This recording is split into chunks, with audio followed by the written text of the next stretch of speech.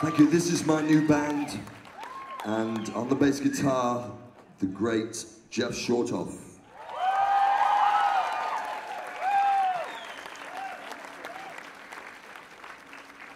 I'll do them later. I mean, introduce them, I mean, not do them.